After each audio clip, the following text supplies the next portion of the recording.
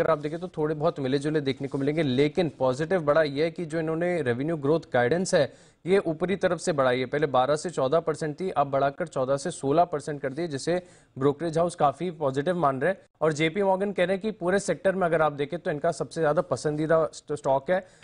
Top pick है इस पूरे सेक्टर में अगर देखा जाएगा तो। इसके अलावा फोकस रखना है मेडिको पर, जहाँ पर इन्होंने जस्ट हर्ब्स करके एक कंपनी है, छोटी सी कंपनी ऑनलाइन प्रेजेंस काफ़ी बढ़िया इसका।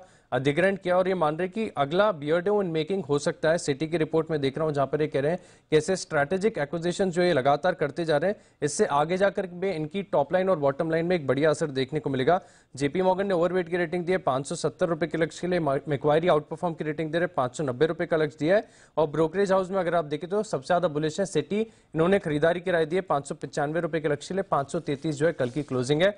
एल टेक नतीजों के बाद रिपोर्ट आई है सीएलएसए की तरफ़ से आउट परफॉर्म की रेटिंग को बरकरार रखा है। बत्तीस रुपए के लक्ष्य के लिए दो रुपए के आसपास की जो है कल की क्लोजिंग है। ये मान रहे हैं कि हर लिहाज से अगर आप देखें तो खासतौर पर डील विंस और मार्जिन के लिहाज से नतीजे काफ़ी बढ़िया देखने को मिले डॉक्टर रेड्डीज पर नज़र रखिएगा। एनुअल रिपोर्ट अपलोड होने के बाद सीएलएसी की रिपोर्ट आई खरीदारी किराए को बरकरार रखा है, छह हज़ार दो सौ दस रुपए के लक्ष्य के लिए। पाँच हज़ार तीन सौ बानवे कल की क्लोजिंग है और अंत में इंडियन होटल जहाँ पर यूबीएस जो है रिकवरी के ऊपर बेट कर रहे हैं। खरीदारी किराए को उन्होंने बरकरार रखा है एक के लक्ष्य के लिए। करीब एक सौ पचास के आसपास की कल की क्लोजिंग है।